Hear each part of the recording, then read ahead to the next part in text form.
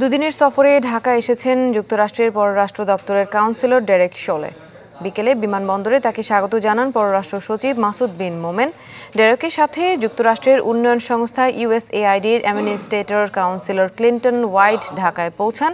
বুধবার সকালে প্রধানমন্ত্রীর সাথে সৌজন্য সাক্ষাতের কথা রয়েছে তার। এরপর দ্বিপাক্ষিক বৈঠকে যাওয়ার কথা পররাষ্ট্র মন্ত্রণালয়ে, যেখানে পররাষ্ট্রমন্ত্রী ডক্টর মোমেন ও সচিবের সাথে বৈঠকের কথা রয়েছে। যেখানে রোহিঙ্গা সংকট সমাধানের অর্থায়ন ও সমাধান নিয়ে আলোচনা হতে পারে।